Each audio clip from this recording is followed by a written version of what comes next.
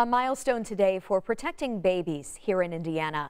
The country's 50th Safe Haven Baby Box was installed in Muncie.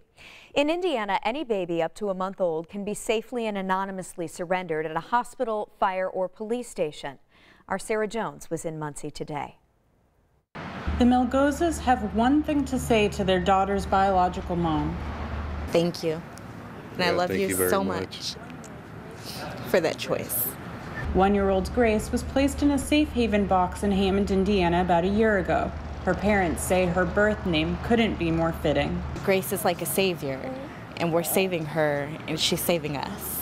Now, this newly installed safe haven box at Muncie's fire station on Jackson can help save others. There's a lot of things that go into the analysis of where a good box location would be. Colleges is a really good place. Um, Muncie has a college.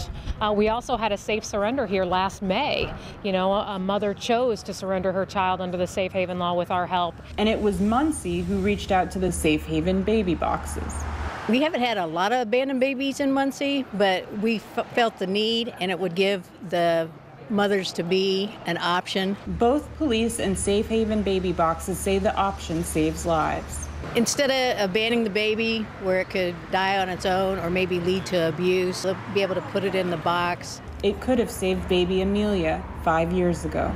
Baby Amelia was a baby that was abandoned in a park, and it was a fatality here in Indiana. The person that abandoned that baby, I believe, didn't think that there was any options. There may not have been a baby box in the area, but to surrender it to a safe haven place, a hospital, fire station, police station. The safe haven box allows for greater anonymity because there's no person to person handoff. This is what the other side of the box looks like. The minute it's opened, it sets off a series of independently operating alarms, alerting first responders that a baby has been relinquished. Firefighters retrieve baby. Average time is right about two minutes from the time mom places baby in the box.